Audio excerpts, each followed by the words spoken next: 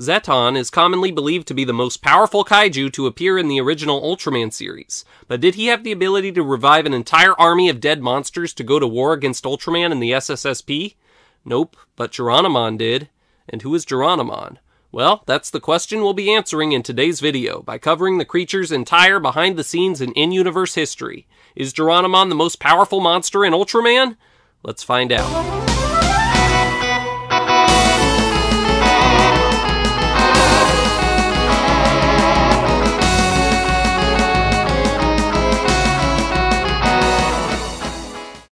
Welcome back for yet another Monster Class, students. I'm the Toku Professor, and boy am I excited to dig into today's topic. Geronimon is a pretty special monster to me. Not only is he one of my favorite kaiju that debuted in one of my favorite Ultraman episodes, but I named my huge eBay store filled with hundreds of Toku figures, and some other weird things, after him, so he's kind of my mascot. And from what I can tell, I'm certainly not the only one who really likes this powerful creature and once this class has come to an end, I have a feeling you'll have joined the Geronimon fan club as well. Let's get started. Geronimon's first major appearance occurred in the highest rated Ultraman episode, The Little Hero, which, as was also the case for Oil SOS, which we covered in the last Ultraman video we did on this channel, was written by Tetsuo Kinjo. In my personal opinion, this may be the greatest episode he ever wrote. Tohl Narita did the design for the episode's one brand new monster, and designed him to look like he was wearing the headdress of a Native American chief, probably to reference Geronimon being the leader of an army of monsters in the script. He was named after Geronimo, a famous Native American military leader from the 1800s. Geronimon's suit was modeled by Ryosaku Takayama, and apparently he reused the wire mesh core of the Gomora suit to construct it, which he'd also used to make the Seabozu costume. Must have been a pretty tough mesh. Geronimon's beard, uh, Seabozu, you're not supposed to be on the screen anymore. Uh, hang on.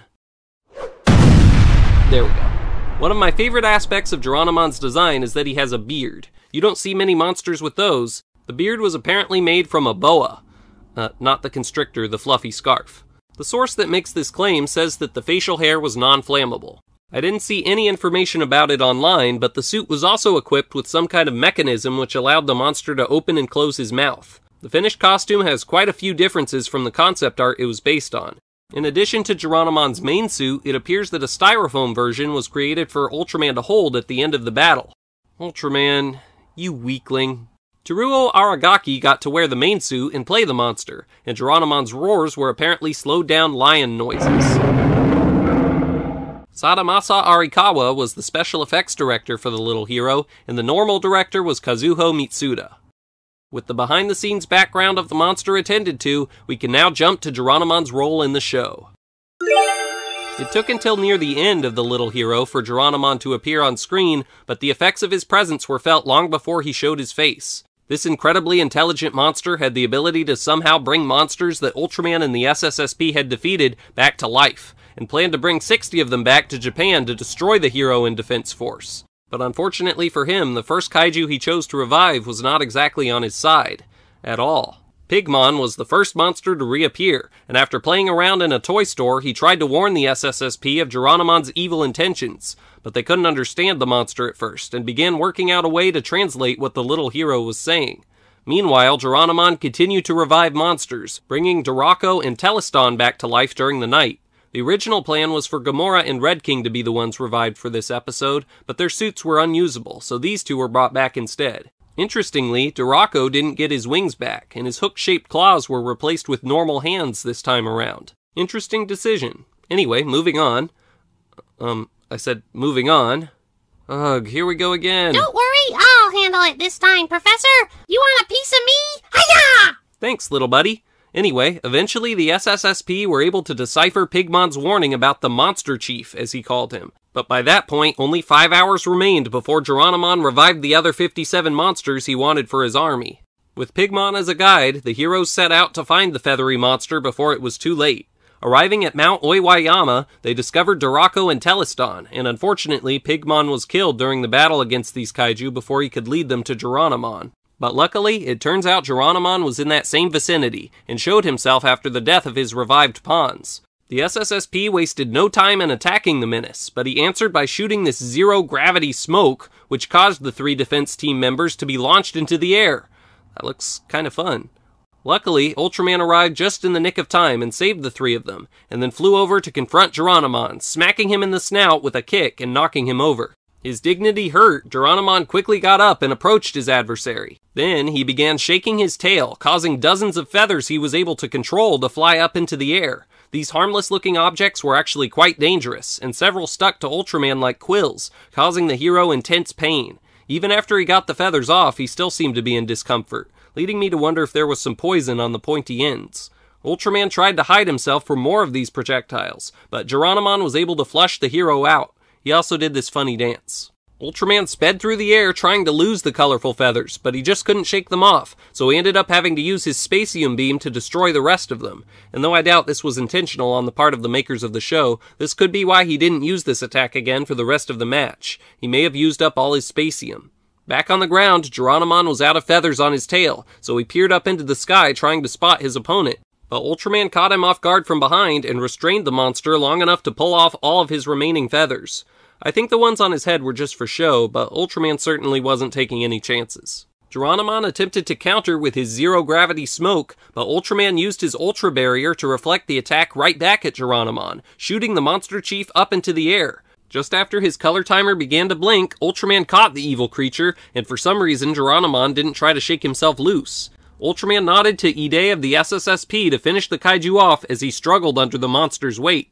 We kind of missed it since we've only been looking at the monsters, but this entire episode had a genius underlying plot about Ide learning that Ultraman being around does not make him useless. And this moment here caps that entire little character arc off wonderfully. I call this whole theme genius because I think we all have a tendency to view the Defense Forces in Ultraman shows as pretty pitiful too, because in basically every episode, everything they try fails, and Ultraman ends up being the one to save the day. I think it was really smart of Tetsuo Kinjo to turn this sentiment of the viewer into the plot of an episode, which also reminds us viewers of our worth even if we feel overshadowed by others. I do wonder though if Ultraman really needed Ide's help here to finish Geronimon off, or if he was just trying to give him a confidence boost. Based on how exhausted the giant hero looked when it was all over, I think we can surmise that he really did have nothing left in the tank here, which is what I'd like to believe, both because it would mean he really did need Ide, but also because it would mean Geronimon really must be an extremely powerful fighter if Ultraman couldn't finish him off on his own. And considering this does seem to be the case, and remembering that Geronimon is literally powerful enough to revive 60 monsters, I think we may just be able to make the determination that Geronimon is, in fact, the most powerful monster in the original Ultraman show, dethroning Zetton. But what do you guys think? Let me know in the comments. I love that this episode aired just two weeks before the climax of the show. That means Geronimon got to be one of the final three kaiju Ultraman fought in the series. Moving on to the next section of this class, I am sad to report that following Geronimon's first appearance, a major crime was committed by Tsuburaya Productions.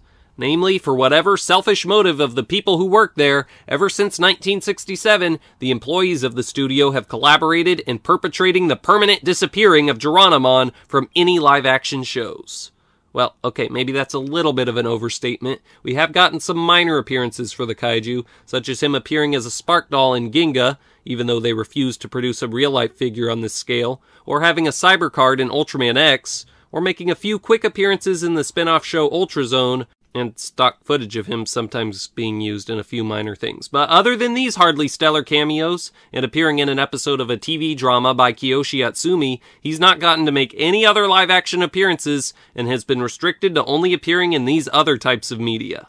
I suspect that one reason they haven't brought him back is because it would be difficult to store a suit with real feathers, and Tsuburaya Productions almost always wants to reuse suits these days so they can save money so a costume that can only be used once wouldn't be something they'd want to invest in. And maybe you're thinking, well, perhaps they could just make a Geronimon suit reusable by using fabric or something instead of real feathers. Well, they actually do that with Geronimon's stage show suits, and frankly, they don't look as nice. But hopefully someday, Tsuburaya Productions can finally bring back this popular monster for at least one more outing. In the meantime, though, we do at least have some nice manga and video game appearances for the monster we can be entertained by. He is a playable monster and opponent in both the PS2 game just called Ultraman in Ultraman Fighting Evolution Rebirth, in the Wii game Daikaiju Battle Ultra Coliseum DX, and also in the data card game Daikaiju Battle Ultra Monsters. In Fighting Evolution Rebirth, he is found in a giant chunk of ice with a slightly new design, and gains a flashing red power up form, and later becomes a component of the video game exclusive EX Tyrant. He has also appeared. Oh no, not this again! Why do I feel like this is related to how this video is going to end somehow or something? Uh, I don't know, but I can get rid of this guy for you, Professor. Power it up, Bash! Kashimu-kun! you weren't ready to pull the trigger, my man. Oh, mean, mean, mean. Geronimon has also appeared in quite a few different mangas and in Tetsuo Kinjo's Ultraman novel, and these books and comics have done some interesting things with the monster. In the Kinjo novel, he actually did get to revive Gomora and Red King, and was shown to be a space monster who was imported to Earth from another planet, apparently thanks to a group of aliens led by Alien Mefilas. Interestingly, I think Alien Mefilas was also involved in Geronimon's appearance in Ultraman Fighting Evolution Rebirth. It seems that these two may have some kind of connection inside media. In Ultraman Story Zero, Geronimon got to revive a bunch of monsters. A few sources have also mentioned that Geronimon may have been the one to revive Eleking for his unusual appearance in Ultraman Taro. This is actually an idea I really like, because it lends credence to my personal theory that the monsters Geronimon revive come back to life looking rather deformed, as was the case with Dorako losing his wings and hook claws. However, Telesdon returned looking basically the same, but eh, I guess some just make it back looking the same and some don't. By the way, don't you get any ideas? Anyway, if I missed any minor appearances for this monster, be sure to leave a comment. Now let's check out Geronimon merchandise. Yes, I've been looking forward to this part of the class, because you see, since Geronimon is one of my favorite monsters and the mascot of my eBay store, which you can visit by clicking the link in the description, by the way, over time I've picked up quite a few different Geronimon products for my personal collection. This awesome, sleek looking one was released in 2007 for the Ultra Monster series. Prior to this, Geronimon figures in this line used this mold. This one is from 1994, I think, and this inaccurately colored one, seriously, why did they make him green and pink? That makes no sense! But, oh well, green's my favorite color, is from the 80s, I believe. There are a few other variants of this mold out there as well. I've also got a cool Banpresto Geronimon plush, and, hmm, this guy's green too. I guess Geronimon is like Godzilla. While they are both actually black, they often get depicted as green for some reason. I've also got this great Gashapon figure and a little soft vinyl guy. This is definitely a lot, but if I were to try and pick up every other type of Geronimon product that exists, I'd actually still have a lot of work to do. Bandai and other toy companies have treated the monster pretty well, but not Bullmark. Bullmark did not treat him well. Ugh. The X Plus figure, on the other hand, looks fantastic, and I think it comes with a mini Pigmon too, but it's incredibly rare. If you want to start collecting Geronimon figures or another Toku character, why not check my eBay store? I currently have one of the green and pink Geronimons from the 80s in stock, but it could sell any time, so act fast if you want it.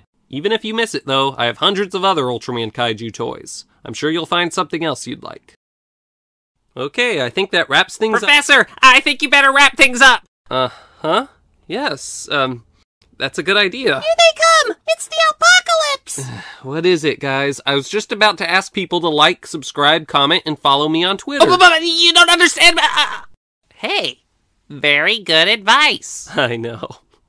uh, but, but, but Ger- Geronimon is. He's making the kaiju come back! All monsters attack! Attack! Wait, no, they don't. Huh? Geronimon and I are on good terms. He'd never send out an army to attack us. Glad to see you again, fellas. And hi, Geronimon. Huh? Yep, store's still in business. Uh, Hey, since we're all here, why don't we all just go pick up some ice cream? Let's go. uh, wow. I thought for sure this was gonna be the part where things didn't end well for the professor again. I guess the script was flipped. Yeah, flipped, like this. Ah! Ah! Hey, what's the meaning of this? Just proving your point.